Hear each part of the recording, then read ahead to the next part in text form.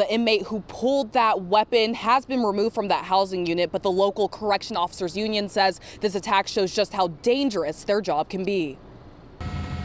The attacks on our officers, um, you know, it needs to stop. Two Souza Baranowski Correctional Center officers are recovering after an inmate fight broke out in a maximum security housing unit. Prisons are, are notoriously uh, a bad place to be. They're, they're dangerous. But what we've seen over the years, it seems that the increase in officer assaults has increased exponentially. The Department of Corrections says the fight happened between three inmates around 6 o'clock last night.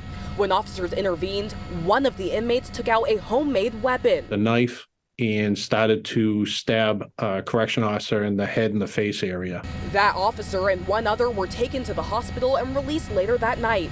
The Massachusetts Correction Officers Federated Union says this underscores the dangers in prison. The, inmates that are there are there for a reason. Uh, they're dangerous, they're assaultive. This isn't the first incident to happen in a Massachusetts prison this year. A six hour standoff happened at the Bristol County Jail one month ago.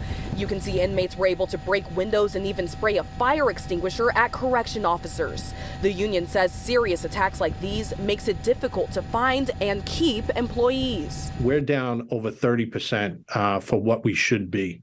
Uh, we're down approximately a thousand correction officers, and that's happened over over the years.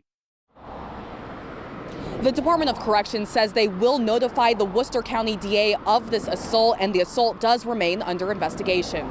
We're live outside the Souza Baranowski Correctional Center. Danae Bucci, WCVB.